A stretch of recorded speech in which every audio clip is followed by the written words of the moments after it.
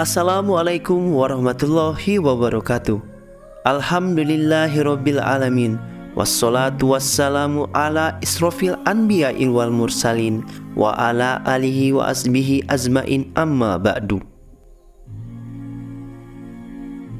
Dalam video kali ini kita akan membahas kisah Nabi Hud alaihi salam Salah satu kisah yang dapat kita ambil hikmahnya Kisah beliau disebutkan pada banyak surah dalam Al-Quran Insya Allah banyak faedah yang besar dari kisah ini Firman Allah Subhanahu wa taala dalam Al-Qur'an mengajarkan kita untuk mendengarkan kisah-kisah tersebut agar kita dapat berfikir dan mengambil hikmah darinya.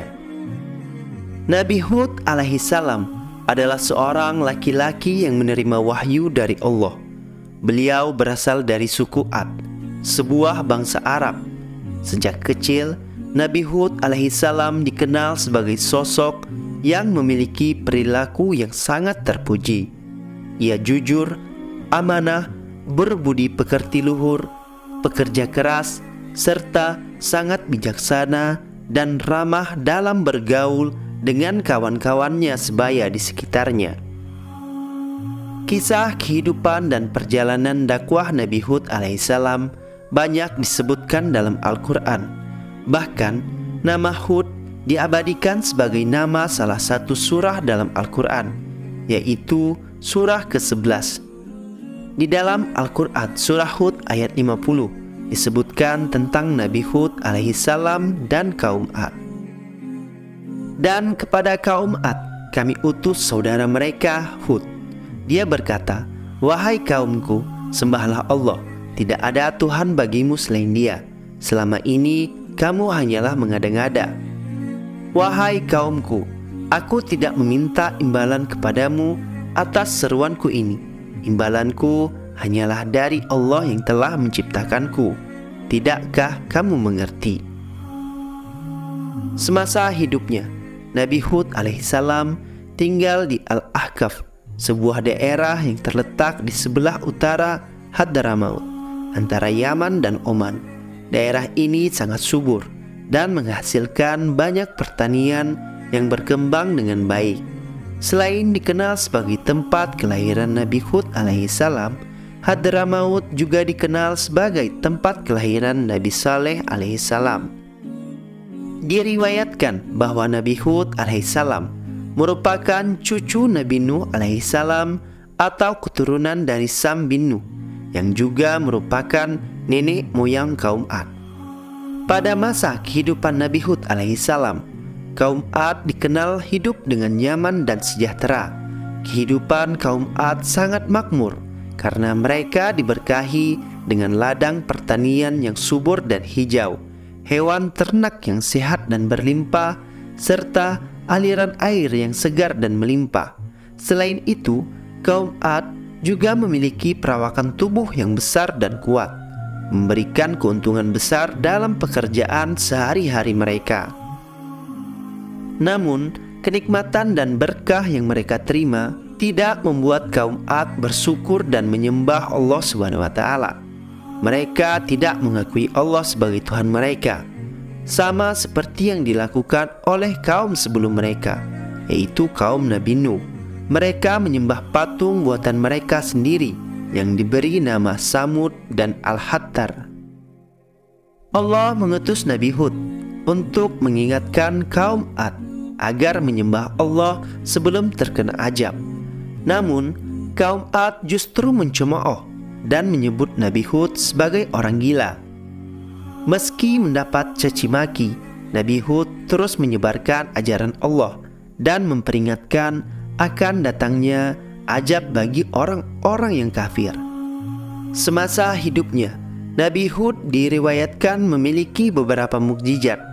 Nabi Hud dapat mendatangkan hujan dan badai saat kaum Ad berdusta hingga mendapatkan musibah kekeringan atas izin Allah taala. Ladang-ladang dan kebun yang selama ini sebagai sumber kehidupan kaum Ad mengalami kekeringan yang berkepanjangan dari musibah itu, hasil tanaman dan hasil perkebunan mereka tidak dapat dipanen.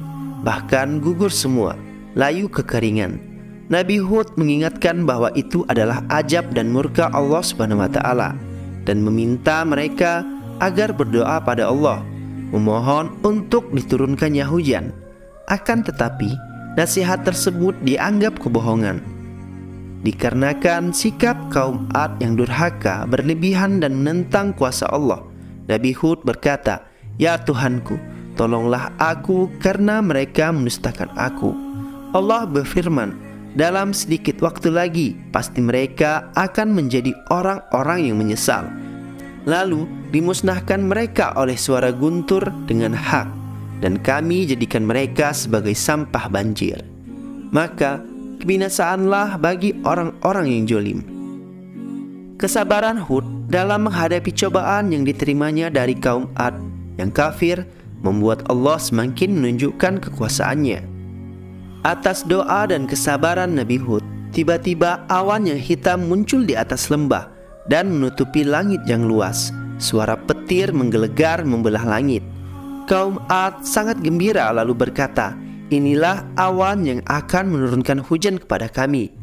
Mereka tidak sadar bahwa itu adalah azab Allah. Tiba-tiba angin yang sangat dingin dan kencang datang menghancurkan gunung, bukit, hingga rumah-rumah kaum Ad yang bertiang tinggi hingga tak tersisa sedikit pun. Kaum Ad menjadi panik, berteriak ketakutan. Selama tujuh malam delapan hari, Allah tiada henti mendatangkan badai dahsyat untuk menghancurkan kaum Ad. Kah hujan deras dan badai berlangsung, kaum Ad sibuk berlari ke sana kemari. Namun, pada akhirnya mereka hanyalah seperti pohon tumbang. Kaum Ad mati bergelimpangan seakan-akan mereka tunggul pohon kurma yang telah kosong. Mereka musnah beserta harta benda yang menjadi kebanggaan mereka selama ini. Allah berfirman, angin itu tidak membiarkan satupun yang dilaluinya kecuali dijadikannya seperti serbuk. Tidak ada yang tersisa dari bencana besar selain Nabi Hud alaihissalam dan orang-orang beriman. Setelah kaum Ad binasa, Nabi Hud dan kaum beriman yang selamat hijrah ke Hadramaut untuk memulai kehidupan baru. Bukti mukjizat Allah menolong Nabi Hud dan kaumnya telah dijelaskan dalam Quran surah Al-A'raf ayat 72. Maka kami selamatkan Hud serta orang-orang yang bersamanya dengan rahmat yang besar dari kami dan kami tumpas orang-orang yang mendustakan ayat-ayat kami dan mereka adalah orang-orang yang tidak beriman. Dan tatkala datang azab kami, kami selamatkan Hud dan orang-orang yang beriman bersama dia dengan rahmat dari kami dan kami selamatkan pula mereka di akhirat dari azab yang berat. Nabi Hud meneruskan dakwahnya hingga wafat dan dimakamkan di sebelah timur kota Hadramaut. Namun, Al-Quran tidak menjelaskan mengenai usianya tetapi sebagian sumber menyatakan bahwa dia wafat pada usia 150 tahun dan ada juga yang mengatakan 472 tahun. Semoga kisah ini dapat bermanfaat bagi kita semua. Wallahu alam bisawaf.